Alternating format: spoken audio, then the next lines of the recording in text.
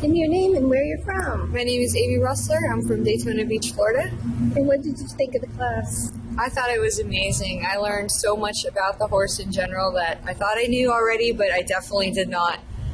What was your big aha moment? Biggest aha moments were definitely from the horses. Uh, they definitely all showed happiness during their sessions. They enjoyed it. You could definitely see the stretching, the licking, and chewing. And today, watching the one horse be able to actually pop himself back into balance was amazing.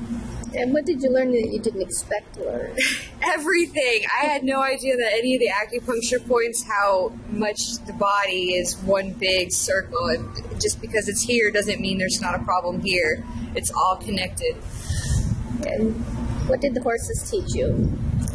Just as much as you guys did because you could only touch us so much and then the horses taught us the rest where exactly you put us in the right spot the horse would teach us the pressure the horse would teach us tell us yes no it's too much not enough everything.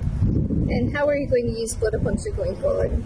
It's going to make a huge difference in us being able to treat a client because now we can not only show them yes this is an acupuncture point but tell them what it is and why it's important in the body and what would you say to somebody wanting to take the class? Definitely do it. It's been amazing. It was fun. Um, I didn't think I would learn as much as I did, and you made it easy to learn it all.